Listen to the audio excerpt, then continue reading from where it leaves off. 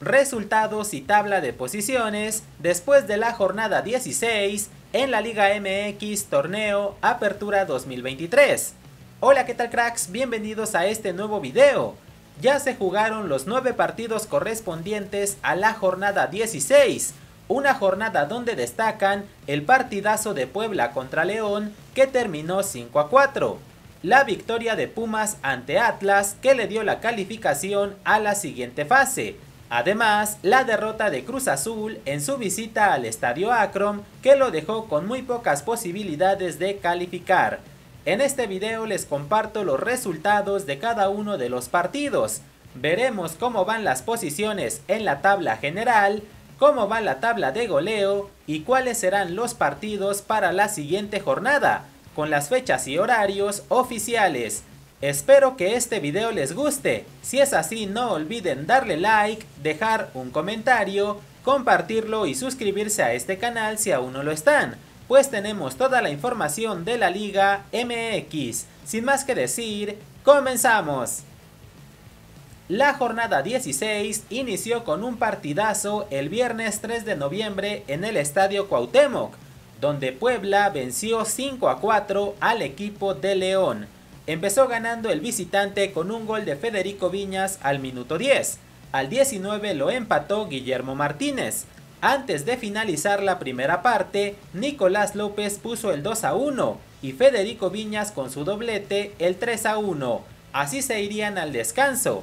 Para el segundo tiempo al minuto 51, Guillermo Martínez pondría el 3 a 2.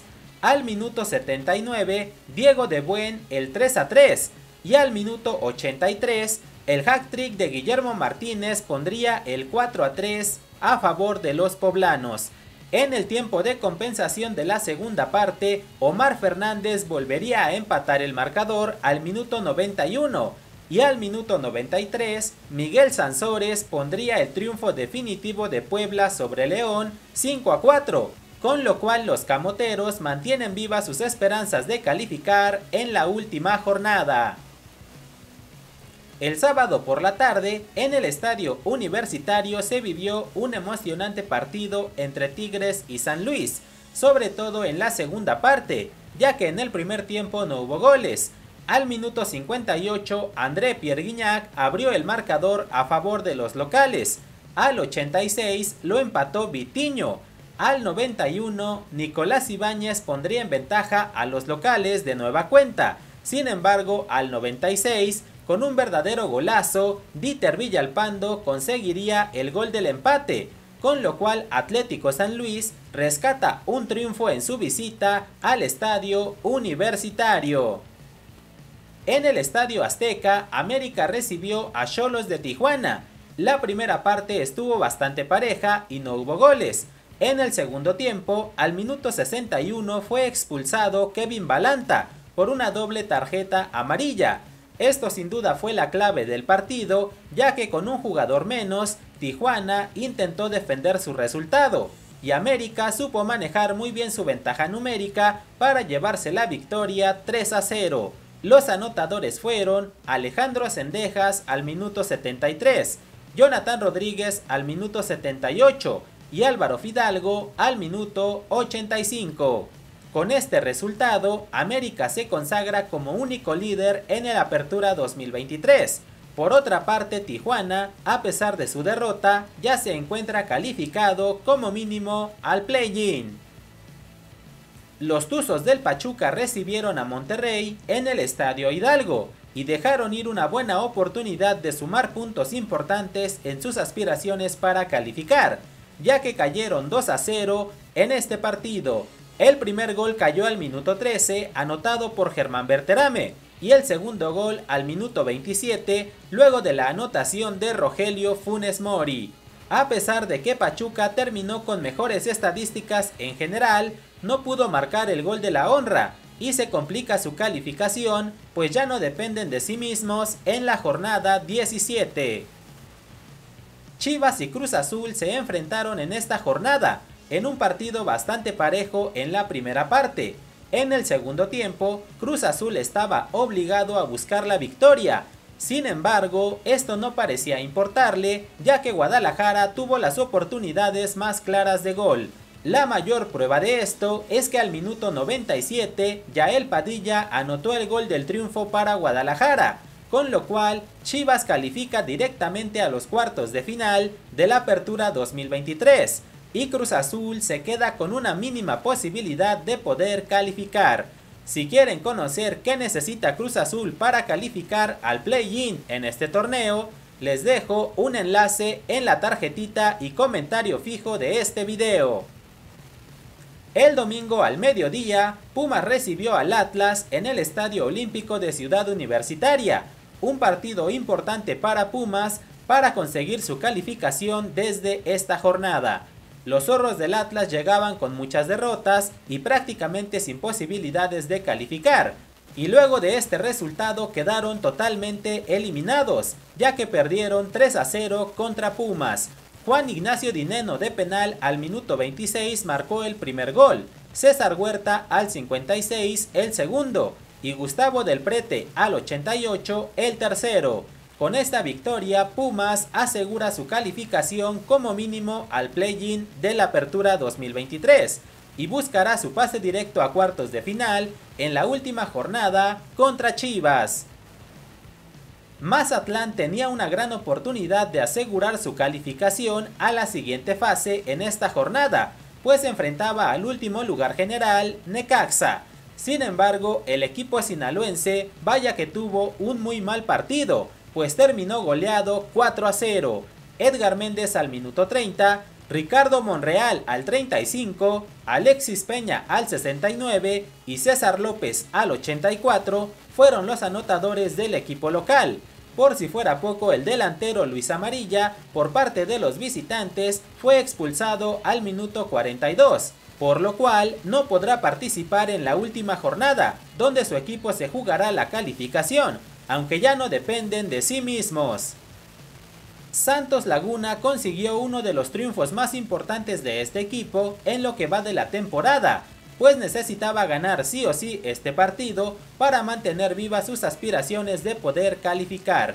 3 a 1 fue el marcador final, los anotadores del equipo local fueron Félix Torres al minuto 35, Diego Javier Medina al 60 y Juan Bruneta al 63. Por parte de los visitantes, descontó Tomás Belmonte al minuto 93. Con este resultado, Santos tiene en sus manos el pase al play-in e incluso directo a cuartos de final, aunque necesita una combinación de resultados. Toluca se complica su calificación, pues tiene que ganar sí o sí en la última jornada para poder calificar. Por último, FC Juárez fue otro equipo que dejó ir una gran oportunidad de calificar en esta misma jornada, ya que perdió como local 3 a 0 ante Querétaro. El delantero queretano José Zúñiga marcó un hack trick al minuto 1, al 54 y al 76 con este resultado, los Gallos aún tienen posibilidades de calificar al play-in, sin embargo dependerán de varios equipos para poder hacerlo. El equipo fronterizo también tiene posibilidades de calificar, pero de igual forma no dependen de sí mismos, pues necesitan una combinación de resultados. Por cierto, Avilés Hurtado fue expulsado al minuto 79, así que no contarán con este jugador en la última jornada. Después de la jornada 16, así quedó la tabla general de la Liga MX, torneo Apertura 2023. En la primera posición se encuentra América, con 16 partidos jugados y 39 puntos. Pase lo que pase en la última jornada, América ya tiene asegurado el liderato general y la calificación directa a cuartos de final. Tigres en la segunda posición tiene 16 partidos y 29 puntos. Monterrey en la tercera posición, 15 partidos y 29 puntos. Chivas en el cuarto lugar, 16 partidos y 27 puntos. Estos tres equipos, pase lo que pase en la jornada 17, ya tienen asegurado su lugar en los cuartos de final.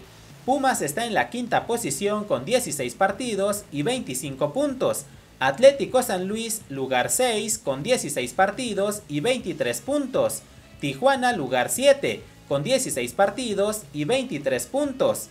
Estos tres equipos ya aseguraron como mínimo jugar el play-in en esta temporada. Toluca está en octavo lugar con 16 partidos y 21 puntos. León es noveno con 16 partidos y 20 puntos. Santos está en la posición 10 con 15 partidos y 20 puntos. Estos tres equipos tienen en sus manos la calificación en la última jornada. Mazatlán lugar 11 con 16 partidos y 19 puntos. Puebla lugar 12 con 16 partidos y 19 puntos. Pachuca lugar 13 con 16 partidos y 19 puntos. FC Juárez lugar 14 con 16 partidos y 18 puntos.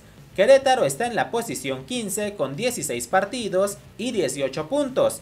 Cruz Azul lugar 16 con 16 partidos y 17 puntos. Estos seis equipos aún tienen posibilidades matemáticas de calificar, sin embargo dependen de otros resultados para poder hacerlo. Atlas está en la posición 17 con 16 partidos y 16 puntos.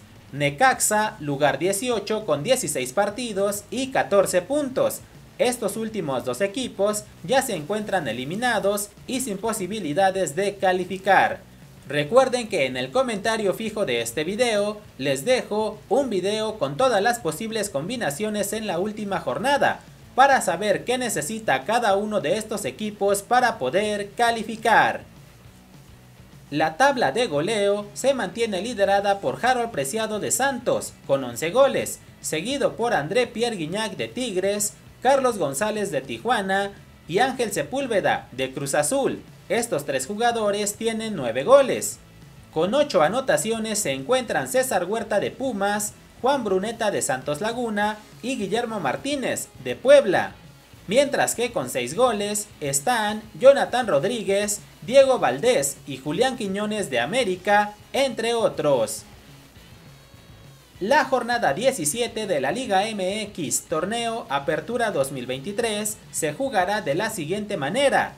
El próximo viernes 10 de noviembre tendremos tres partidos. A las 7 de la tarde, Atlas recibirá al Necaxa. A la misma hora, Toluca visita a Mazatlán. A las 9 de la noche, Tijuana recibe al Pachuca. Para el sábado 11 de noviembre a las 5 de la tarde, Atlético San Luis jugará contra Santos. A la misma hora, Monterrey visitará al Querétaro. A las 7 de la tarde, Pumas recibe a las Chivas. Y a las 9 de la noche con 10 minutos, América visitará a Tigres. Para el domingo 12 de noviembre a las 6 de la tarde, Cruz Azul jugará contra Puebla. Y a las 8 de la noche, León recibe a FC Juárez. Recuerden que mañana lunes subiré mis pronósticos para la jornada 17 y el próximo martes las fechas, horarios y canales de transmisión oficiales para cada uno de estos partidos. Como ven cracks, para ustedes cuál fue el mejor partido de esta jornada 16 y de los partidos que se jugarán en la jornada 17, cuáles parece que serán los más emocionantes. Por favor escriban su opinión en los comentarios. Antes de terminar el video, le mando saludos a Ramiro Álvarez, Uriel Cano, Jerónimo Rocha, Justo Hernández y a ARG 1218, quienes comentaron el video de la jornada anterior. Recuerden dejar sus comentarios, pues voy a mandar saludos en el siguiente video. También me pueden seguir en mis redes sociales que están apareciendo en su pantalla. Por su atención muchas gracias, nos vemos pronto y no olviden que feliz, feliz escribe con F, con F de fútbol.